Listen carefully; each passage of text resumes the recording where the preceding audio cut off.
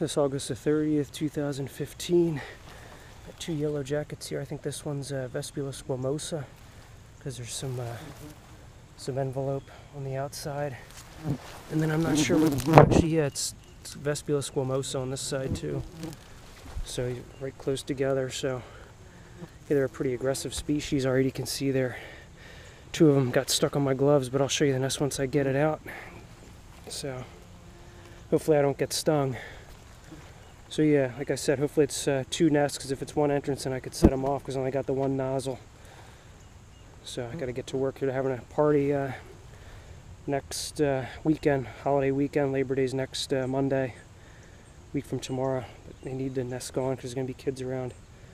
So anyway, uh, I don't know if I'll film the process, but I'll show you the nest once they're out.